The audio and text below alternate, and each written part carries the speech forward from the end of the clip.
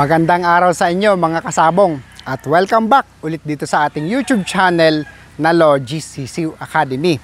So welcome sa panibagong episode ng ah, ating segment ng pagmamanok ngayong stag season. Ano? So pasensya na kayo, ngayon lang ulit tayo nakagawa ng video dahil sobrang busy.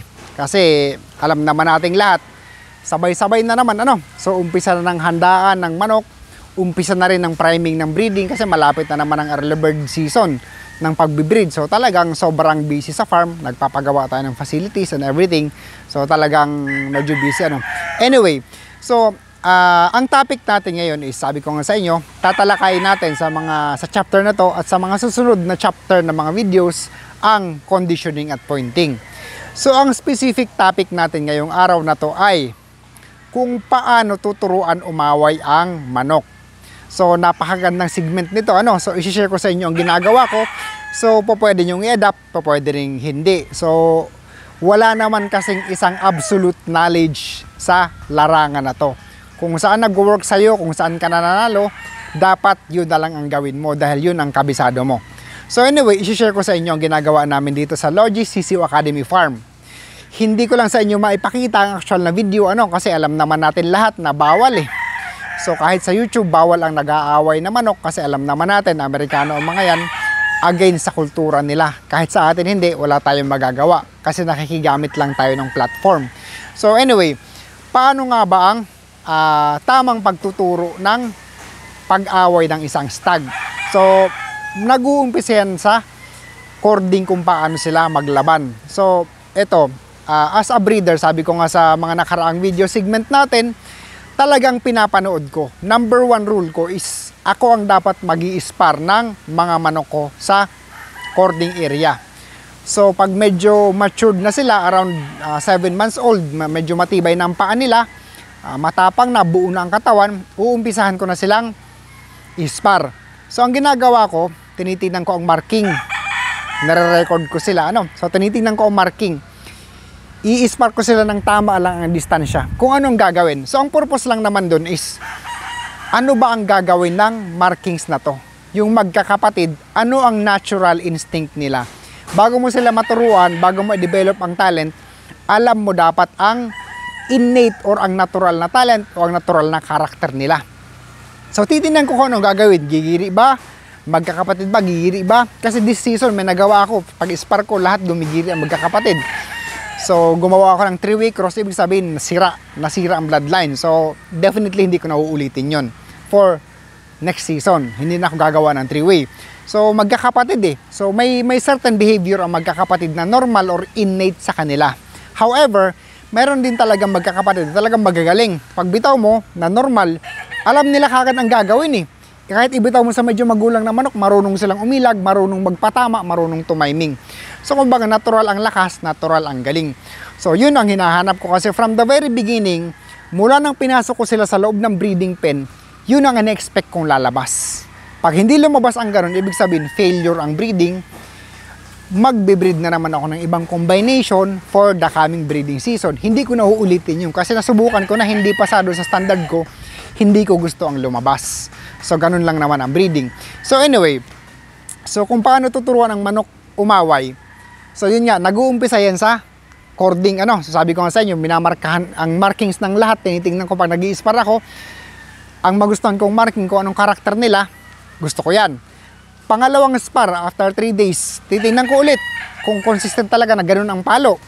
After 3 days ulit, ganun ulit. So, ibig sabihin, kumbinsido na ako na sa spar pa lang, lumalabas ang tunay na karakteristik nila, ang behavior nila, ang galing nila.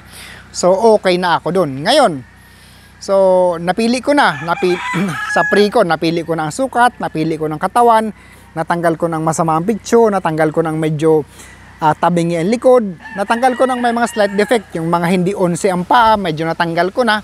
So kumbaga sa akin pasado na lahat. Ngayon, sa pre-con, pinapa-spar ko yan. So ang unang turo natin dyan is, kasi gusto ko talaga sa manok umaangat, likas sa Bruce Barnett sweater na base blood ko ang umaangat, talagang uh, umaano sila, sumasalida ng ganon.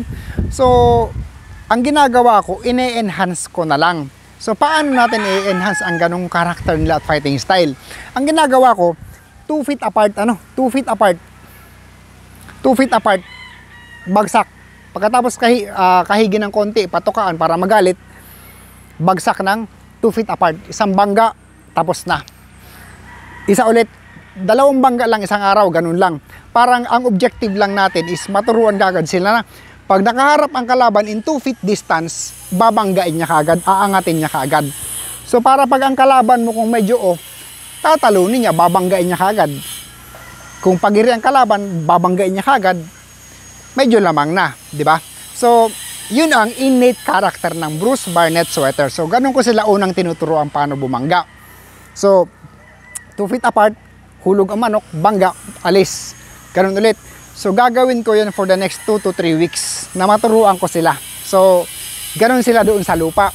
Ngayon, o sa damuhan, pag nag-pre, pag nag-conditioning proper na ako, ganun din ang gagawin natin kasi hindi mo i-expect, hindi mo i-expect na yung galing nila lalabas yan. Kasi iba ang manok na magaling sa lupa or sa damo, iba ang magaling sa gradas kasi lupa yan eh. So nakikiliti yan. Sensitive ang paa nila sa lupa kasi sanay sila sa damuhan.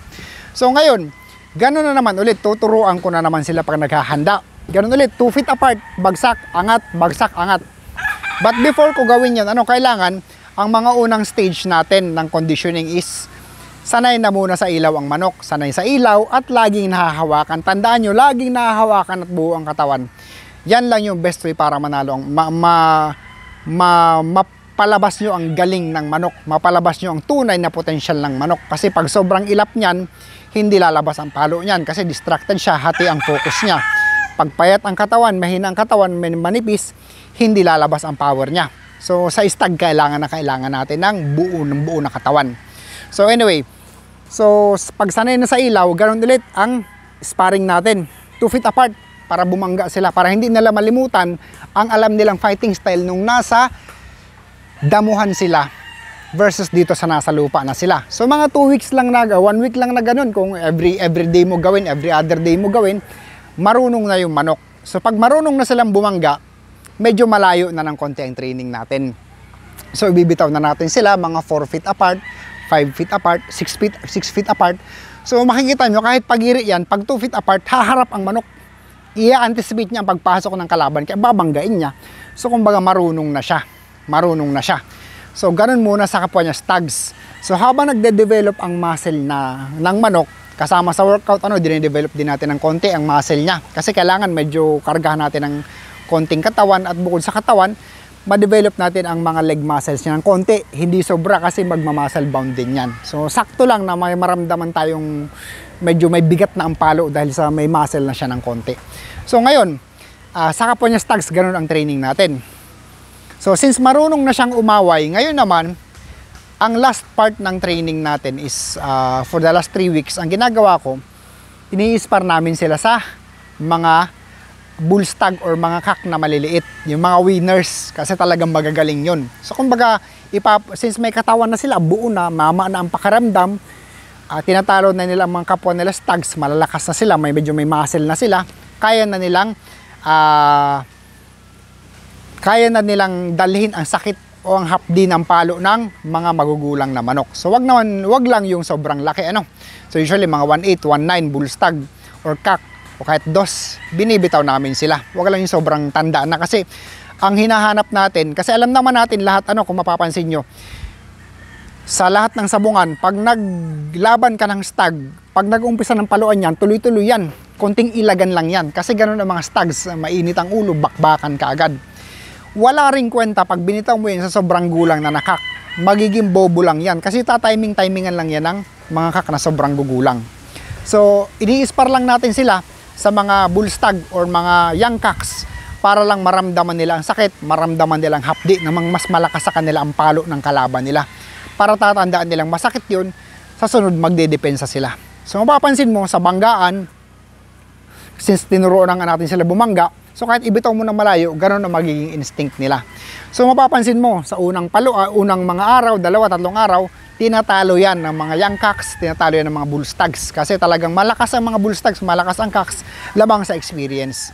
Pero, after mga isang linggo, kaya ng talunin ng stags yan. Kasi makikipagsabayan na sila, mas lalong na-develop ang buto, mas lalong na-develop ang muscles, ang laman ng katawan, mas lalong na-develop ang mentalidad, natututo sila. Natututo sila. So tinatalo na nila ang mga cocks, mga young cocks, mga bull stags. So pag tinalo na nila yon, ibig sabihin, ready na ang manok natin na ilaban. Kasi wala nang tatalo pa dun sa tinatalo mo mga cocks or mga bull stags. So kumbaga nasa peak na ng performance siya. So kailangan na natin siyang mailaban. Kaya very important na may program din natin ng maayos ang paglalaban kung kailan. Dapat nakaredy ang manok, hindi kung kailan nakaredy ang bulsa. Kasi madalas wasak ang bulsa mo pag yan ang una mong ni-ready. Dapat ready ang manok. So yun lang guys. Maraming salamat sa inyong lahat. Master Marcos ulit ito ng Team Logis.